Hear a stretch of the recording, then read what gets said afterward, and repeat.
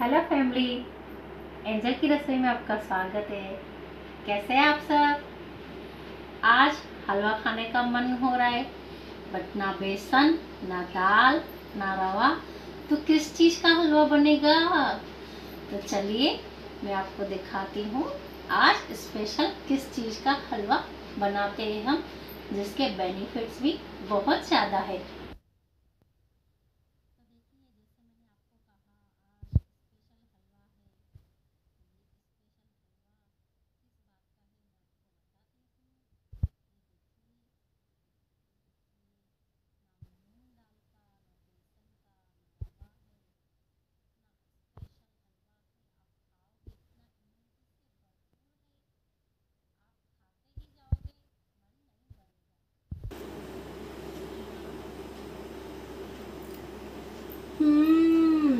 मज़ा आ गया।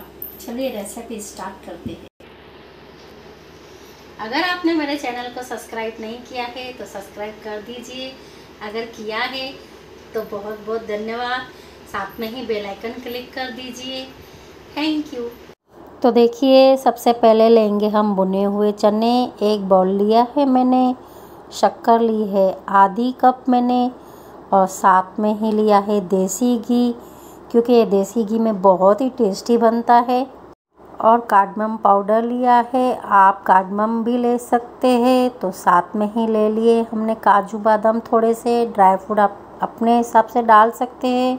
जो आपको पसंद हो, एक गिलास मैंने लिया है दूध और ये लिया है चांदी का वर्क डेकोरेट करने के लिए। ये आपको बंसारी शॉप पे आराम से मिल जाएगा। सबसे पहले चनों को ग्राइंड कर देंगे हम और दरदरा ही करना है, पूरा फाइन पाउडर नहीं बनाना है। तो चलिए पैन गरम कर लेंगे हम और देसी घी डाल देंगे। अगर आप देसी घी पसंद नहीं करते हैं तो आप नॉर्मल घी भी डाल सकते हैं। और ग्राइंड किए हुए चने डाल देंगे हम पाउडर तो इसमें देसी घी का मतलब ये है चने सोख ज़्यादा करते हैं और देसी घी बहुत चिपचिपा रहता है।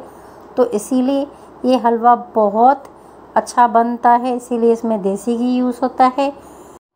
तो पाउडर हमारा बुन चुका है तो अब डालेंगे मिल्क मिल्क डालने के बाद हम अच्छे से मिक्स करेंगे। तुरंत ही हम शक्कर डालेंगे, नहीं तो ये ड्राई जल्दी हो जाता है। और इलायची पाउडर और चॉप किए हुए हम बादाम और काजू डाल देंगे। ये एकदम खोए के जैसा बनता है। अगर आपके पास ड्राई खजूर है तो थोड़ी सी वो पीस के डालिए और भी लाजवाब लगेगा। अच्छे से मिक्स करेंगे, धीमी आँच पे कुक करेंगे। जब तक पैन नहीं छोड़ेगा ये हलवा, जब तक इसको मिक्स करते रहना है। जिन लेडीज़ को पीरियड में बहुत प्रॉब्लम होती है, रक्त का संचारित बहुत ज़्यादा होता है, उनके ये लिए ये रामबाण हलवा है। तो ये हलवा उनके लिए रामबाण कैसे है? अगर उनकी ब्लीडिंग ज़्यादा होती है, तीन दिन तक ये हलवा मॉर्निंग में खाएँगी तो उनको आगे चल के ये प्रॉब्लम नहीं होगी। तो देखिए, हलवा हमारा ड्राई हो चुका है। इसमें ऊपर से भी मैंने एक चम्मच देसी घी डाला। तो देखिए, मैं निकाल रही हूँ सॉविंग बॉल में और आपको दिखाती हूँ हलवा कितना लाजवाब लग रहा है। चनों को तो प्रोटीन का खजाना कहा गया है, इसीलिए तो बजरंग बली महाराज चने ही खाते हैं। और सोचिए, हलवे में तो हम इतनी सारी चीज़ें मिक्स कर रहे हैं, जैसे घी हुआ ड्राई फ्रूट हुआ तो सोचिए कितना रामबान है और कितना इम्यूनिटी से भरपूर है। तो चलिए थोड़ी सी और ये मत सोचिए कि वज़न बढ़ जाएगा। उल्टा ये हलवा खाने से आपका वज़न कम होता है।